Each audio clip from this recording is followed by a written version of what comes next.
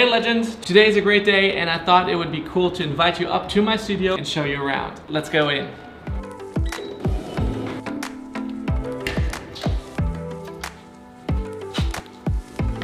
So this, this is my very first studio. I just got the keys to my very first studio space and as you can hear, it's still empty. It was a big step to move out of my bedroom and sign a lease in August 2019. But I'm here now and it's exciting.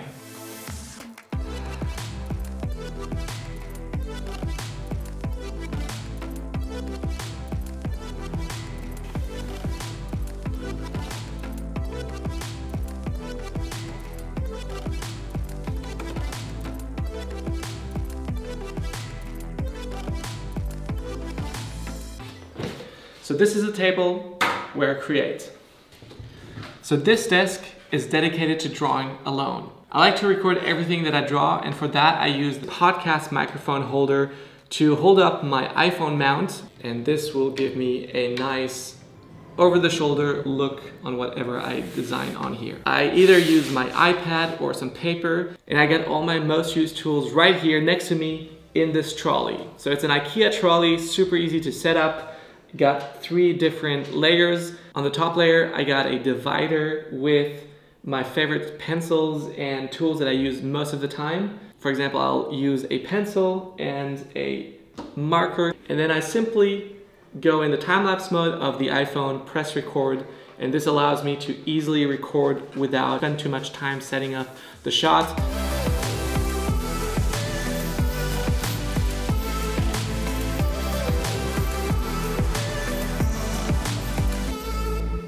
So right here we have my working desk. At this desk, I only work on the computer and it's also a standing desk, which is different from any other of my desks because I like to change positions as I work. So right now you probably are wondering why I have two different desks to work on. Well, the idea comes from a book that I read. It's called Atomic Habits by James Clear. And he says that your body will react differently to whatever object or place you are in. Meaning that if I will sit down at this desk, my brain will go into task mode, into editing, into, into administrative work. And whenever I sit at the other desk, then I will immediately start and be creative.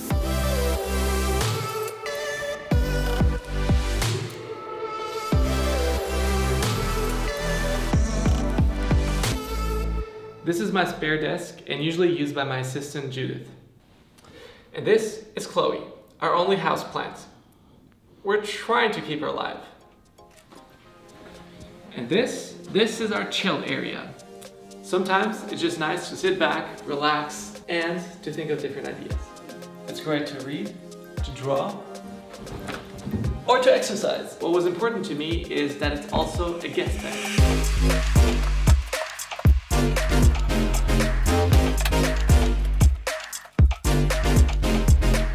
You might remember the wall behind me from a different video, How to Paint a Mural, where we tried to make the best use of all of our walls.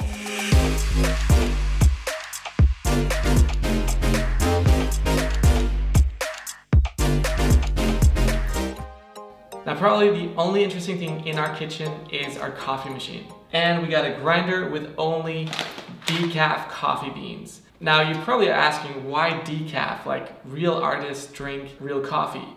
Now, of course, decaf is real coffee. It's just the caffeine that's taken away, which is really great for our hands. And I've started to feel that in my emotions and just feeling more anxious when I drink more coffee.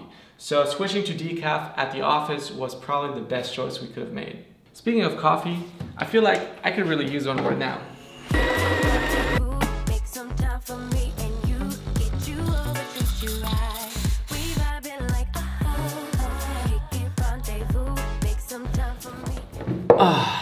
Coffee is always a great idea. It's also great to have a large table to do a lot of work that just demands a lot of space. For example, signing a lot of books or to package those books up and to send them away.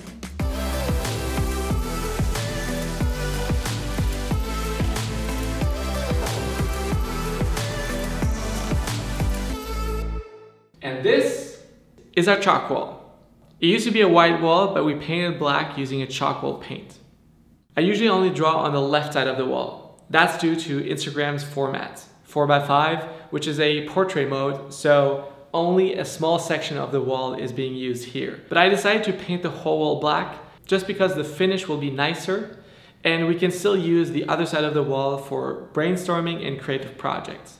To record my time lapse for the chalk wall, I still use the same setup as I would at my desk. Just turn around the tripod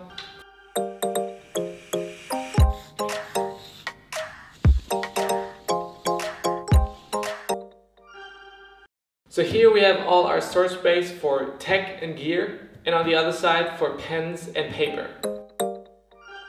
In these drawers, we have our archives of papers and sketches and final artworks, for example. Finally, our cutting board at the top. Thank you guys so much for watching. I hope you've enjoyed the studio tour and let me know in the comments below if there's anything else you want me to focus in on. And Wait, I feel like I forgot something. What was that? Um, oh, I forgot the dance floor. I'ma wake up, damage. Boredom. Working. See you in the next video.